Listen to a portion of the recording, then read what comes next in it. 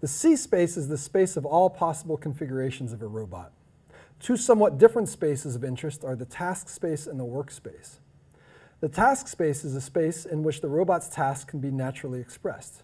For example, if the task is to control the position of the tip of a marker on a board, then the task space is the Euclidean plane. If the task is to control the position and orientation of a rigid body, then the task space is the six-dimensional space of rigid body configurations. You only have to know about the task, not the robot, to define the task space. The workspace is a specification of the configurations that the end effector of the robot can reach and has nothing to do with a particular task. For example, a planar robot with two revolute joints, limited to ranges of motion of 180 and 150 degrees, has the workspace shown here. The workspace is often defined in terms of the Cartesian points that can be reached by the end effector, but it is also possible to include the orientation. The set of positions that can be reached with all possible orientations is sometimes called the dexterous workspace.